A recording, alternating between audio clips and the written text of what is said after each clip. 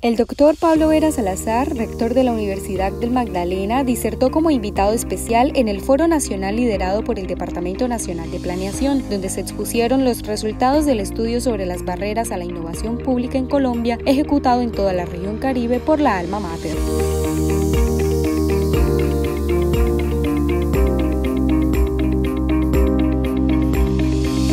El concepto de innovación surge fundamentalmente como como fuente de ventaja competitiva, precisamente para diferenciarse, para abaratar costos o para, para precisamente ser más competitivos.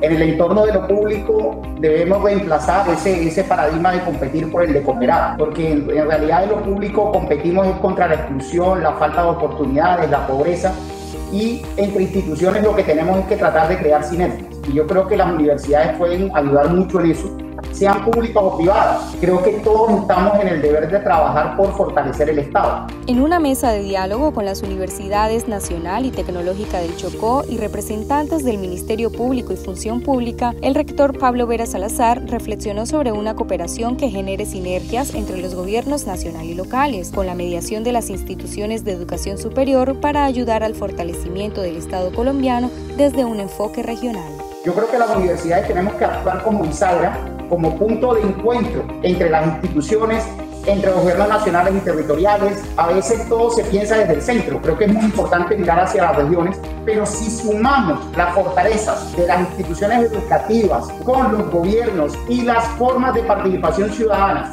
aprovechando la aceleración de la transformación digital que trajo la pandemia, creo que podemos llegar a construir esa paradigma de cooperar en lugar de competir. Creo que eso es muy importante y es el mensaje que tenemos que promover desde las universidades. Con su rol dentro del estudio, Unimagdalena formulará recomendaciones de políticas públicas a fin de que el Estado incorpore herramientas y metodologías para permitirles a los ciudadanos la inclusión en la toma de decisiones y el acceso a la información pública.